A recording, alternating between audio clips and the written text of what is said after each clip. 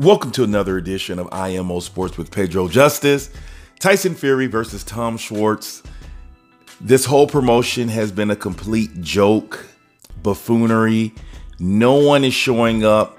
No one is taking this promotion seriously.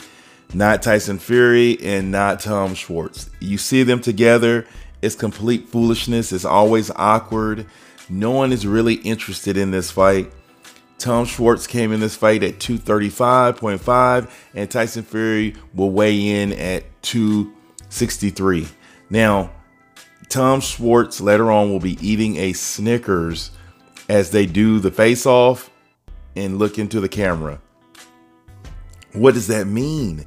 That means that this is a joke. So Tyson Fury is even trying to sell this joke, but he really can't when a guy is chewing a Snickers in front of him. Now, has Tom Schwarz pulled the wool over everyone's eyes? Because when I saw one of his fights where he basically he wanted to give up and quit because of a pretend headbutt, almost knocked him out. So, and it looked pretty embarrassing. And so I don't know if he has the character, the testicular fortitude, or the heart to last in this fight if the going gets tough. Now on Tyson Fury's end, Tyson Fury does a lot of antics outside of the ring, is charismatic outside of the ring, but in the ring, it's been pretty boring when Tyson Fury fights. When he faced Klitschko, it was one of the most boring fights we've ever seen in history, but he still won.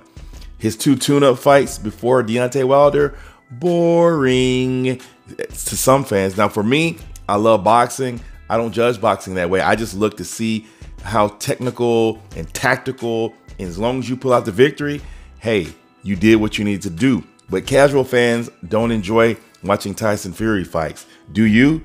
Do you think this whole promotion's been a joke? A buffoonery? Clown show? Let me know what you think. Until next time, it's Pedro Justice.